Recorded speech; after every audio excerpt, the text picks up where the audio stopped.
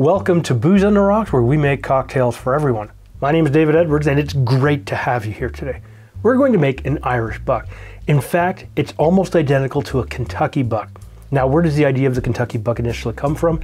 A uh, tall glass, which is usually filled with ginger ale or ginger beer, is actually called a horse neck. However, when you add alcohol to it, it becomes a buck.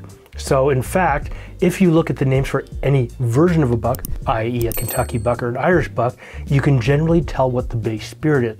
A Kentucky buck has bourbon, an Irish buck has Irish whiskey, and so on and so forth. And this will allow you to build any style of buck cocktail that you want.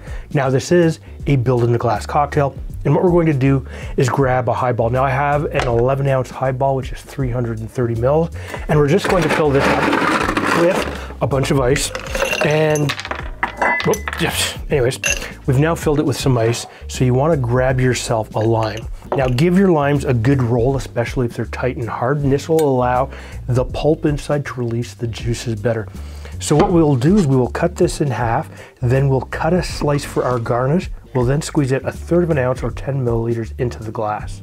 Your second ingredient to this is Irish whiskey. So reach onto your shelf and dust off your favorite bottle or whatever you just happen to have that you think would go well with your ginger beer. Now in this case, I'm using some Writer's Tears. It's a little bit floral, nicely smooth, and it'll work perfectly in this. And we're gonna use an ounce and a half or 45 milliliters.